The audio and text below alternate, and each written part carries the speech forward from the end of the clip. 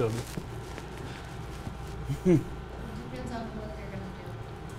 All right, guys, welcome back. Sorry about that. I didn't know what was happening. I'm just there sitting for here, I'm thinking, second. I'm like, uh, I think my IFB died for a second. I saw myself, I saw but y'all Josh, weren't I'm like, are they talking. and I'm testing like, this? all right. Surprise, we're back.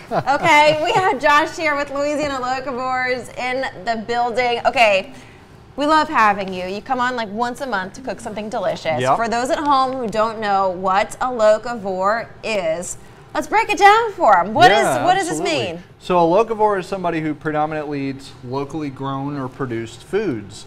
Um, so that can mean like going to your farmer's market and getting vegetables and dairy and that kind of thing. It can also mean going to the grocery store and supporting you know, locally produced products. I love that. Yeah. And I love that too that you the cool thing about Josh, he uses as much local things as he can, but yet creates these kind of like dishes where you wouldn't expect to use sweet potatoes and make them into a tortilla and have like Mexican tacos or like you use you create worldly dishes with all of this stuff, which I think is great and inspires people to get creative in the kitchen. Mm-hmm. Yeah, absolutely. So that was like the mission. You know, this was my passion project. And uh, I brought the tortillas on the set and I saw Taylor's reaction and I was like, well, They are good. I should start selling these. what do you call them? What did I, what do I Sweet call them? potato pillows. Sweet potato pillows. they are they are my favorite things I think ever to this day. They go great with the sauces that you make. So okay, you're here today. You're making. Yes. What are you making today? We make some beer braised tasso nachos. So we got some awesome local tasso from Foreman's Boudin Kitchen. So you're not going to want to miss this, guys. I I love this. And was how do you come up with these dishes? So I, I just get these ideas in my head. You know, I can't stop. I'm just a, I'm an idea guy. You know, um, but I figure if I can show people different ways to use local products, then you know that's going to encourage people, you know, to buy local. Yeah. And two, you are at the farmers market. Yes, uh huh. We're at the market every Saturday. We do tacos on our glorious sweet potato tortillas. Oh. They're so Just- good too. Let me pick one of these up Like, and show you. can we get a close up of these? Because they are just Isn't that beautiful. And I think too, you good as they look. perfected the tortilla at this point. yes, I do believe so. Like these are great, and we're gonna be cooking with Josh throughout the rest of the show. So don't go anywhere. You, my friend, have a look at the weather. I coming do. Up. It's a very hot. Welcome back. We are cooking some delicious nachos with Louisiana Locavore, Josh Tibbs. Okay, so you got a whole spread. Which Oh, what is yeah. this? All right, so we've had our tasso braising for about an hour. When you say braising, what Yep. does that mean? So it's where you cook it in a liquid at Okay. a lower temperature, so it's kind of like simmering and just Okay. getting all delicious for a long period of time. Okay. So that makes it super tender. Oh. And uh, I just Oh. used some local beer and braised it down. Um, you can just see the spices on that tasso. It's just And where do you find this tasso? Because this is local. Yeah, you can get it at Rouse's. Um, I've seen it at other supermarkets too. So, you know, you don't have to go to the farmer's market for their products. I also put the ham hocks in the red beans. So, Okay, whoa. okay, tell me about this process because I could I couldn't even tell that there's ham in here. yeah, because it cooks down so long again in beer. You know, mm-hmm. that's my favorite thing to cook in. I love that. Adams too. Yeah. Oh, I also like to drink it. Weird how that works. What's that? Do you just chop it up real fine and stick it in the pot with the beans and just let that cook? so, for the ham hocks, you know, my normal beans are like a two day process. Oh, really? But Wow. I did a, a lot lower effort uh, recipe. I'm going to send it to you so you can share it with all the viewers. But just braise the hocks down until they're super tender. You take it out, add a can of Blue Runner beans, Mm-hmm. and cook it down with a lot of pork fat and butter, and Nice. just and delicious. Blue Runner, that's local too. Yes, mm-hmm. absolutely. Oh, I'm, I swear by Blue Runner. Like that's my go-to. Is there beans. like a? Because I know there's Camellia Bean, Blue mm-hmm. Runner. Yep. Well, I just grew up with Blue Runner in New Orleans. Okay. So my parents use Blue Runner all the time, and that's you know what I've gone with. So and I I swear by love 'em. that. Okay. Yeah, and the Blue Runner, the good thing about them is that you, they don't only have dry beans, they also have canned beans. Mm-hmm.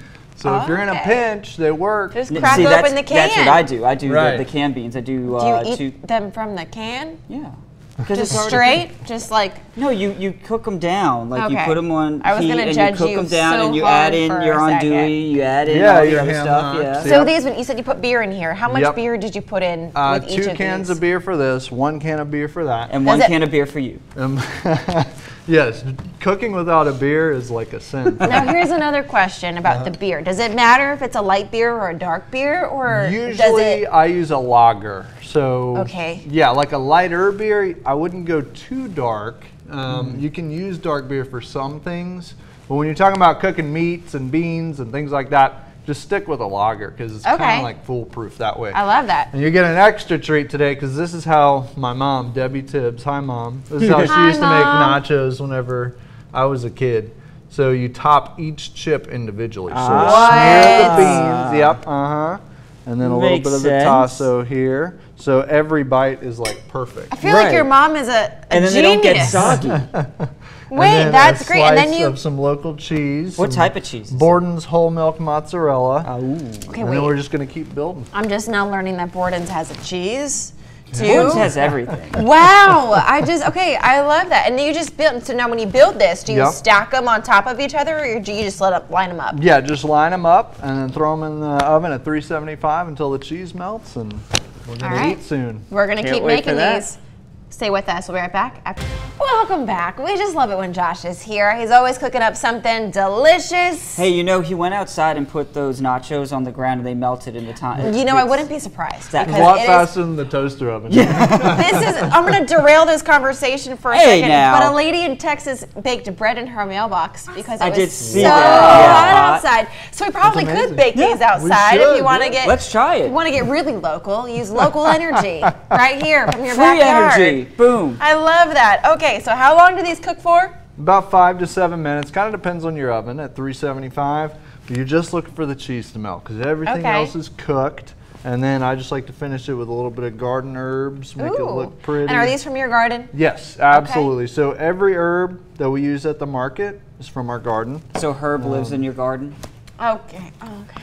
He's got Anyway. more dad jokes than me, and he's not Someone even a mute dad. his mic. My gosh. And And so, then- what is this fancy I was about to ask. All right, so this is a crema made with our verde sauce and a little bit of sour cream. Would y'all like some on your? I would. Sure, a little dabble. I would like to try some. That would be good. I'd like to dabble with the dabble.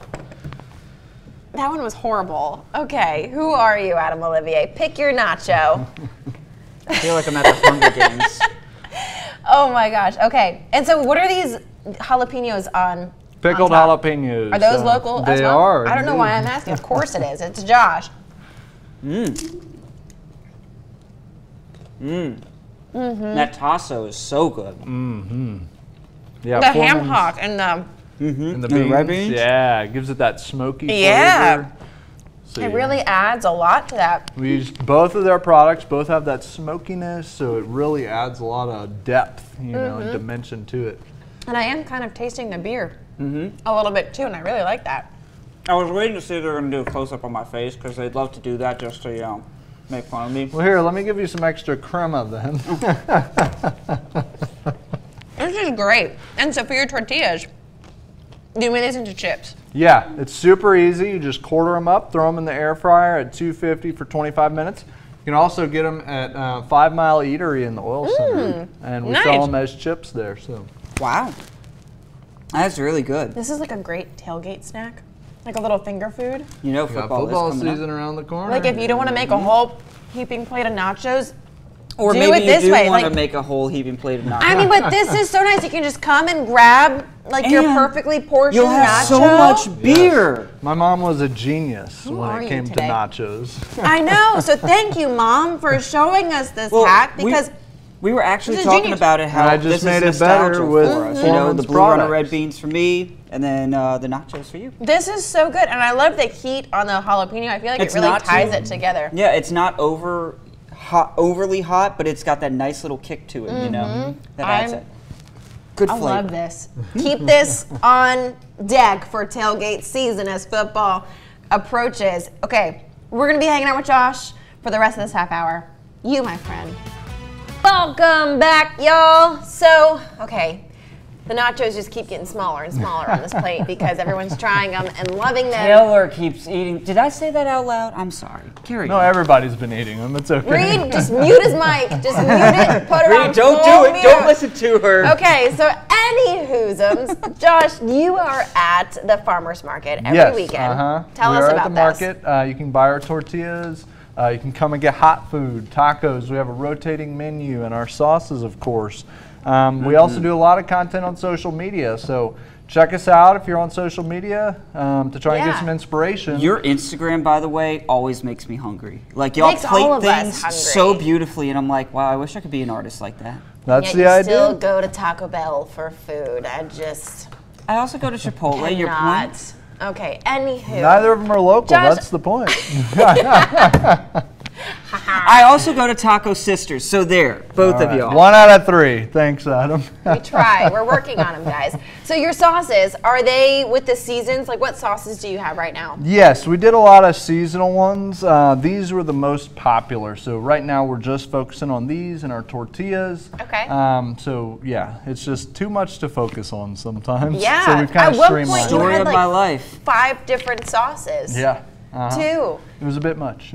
And I think those are the original ones that you showed us when you first came on the show. And we tore Yep. apart They're so good. Standards. I'm telling you, a bottle of the sauce, a bag of tortillas, you have lunch. Your, your weekend, that is perfect. your weekend is made. Like It I mean, really it's is. just like it, you were talking about earlier. This would be great for tailgating. Mm-hmm. That in and of itself would be great for tailgating. And you could double, triple, quadruple the recipe with no problems. Mm-hmm. Uh, just make sure you use the right tasso and uh, and ham hocks from Yeah. Foreman's because they they make all the difference. Mm-hmm. For And sure. we're going to post where you can get that too, along with that recipe on our website, klaf.com. But Josh, what time will you be at market? Uh, eight to noon. So come and see us. We got lemonade, hibiscus lemonade, with That Ooh. is local good. hibiscus flowers. Yep, keep you cool. I can guarantee you one thing. You won't have any rain to deal with tomorrow. All So I won't have to get a text saying, hey, uh, about that rain that came through during uh, the time I was at the farmer's market. No rain, just you know blazing sun all day.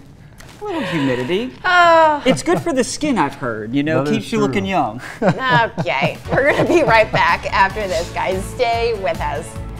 Could arrive. You know, not to rain on your parade or anything for tomorrow, but um, I wish I could give you a little bit better weather. Cooler, drier, not as humid. Wishes. Maybe October. What do you think? October, mm, that's pushing. I'd say November. November. Hi. Just in Do time you for the first remember frost. Huh? The 21st. First night Y'all, of November. If you need something to do, regardless of the heat, go to the farmer's market, Yes. visit Josh, grab a bag of these. They freeze really well. We're going to post the recipe on klaf.com. Have a great weekend. We'll see you on Monday.